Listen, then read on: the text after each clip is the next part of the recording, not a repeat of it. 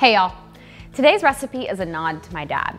I remember many a time when he would simply steam an artichoke and make up some version of the sauce you will be using in this recipe, and we'd each eat a whole artichoke as dinner.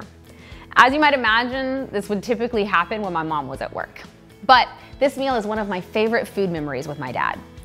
The dish you will make today is a little more complex than what my dad used to make, but it still keeps it simple to let the flavor of the artichoke and sauce really shine through. Okay, Let's get cooking. Begin by boiling a large pot of water. Cut the stems off the artichoke and the tops by about a third. Cut the artichokes into quarters, then use a spoon to remove the chokes from each quarter.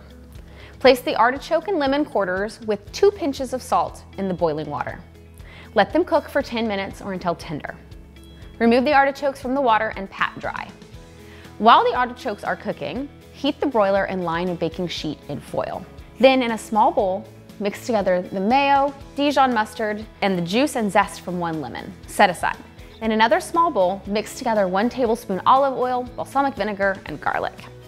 Once the artichokes are done boiling and have been patted dry, place them on the foil-lined baking sheet. Brush the artichoke quarters with the balsamic vinegar mixture. Place the baking sheet under the broiler for three to five minutes. Wash them closely so they char but don't burn. Serve the artichoke quarters with the mayo base dipping sauce. Enjoy.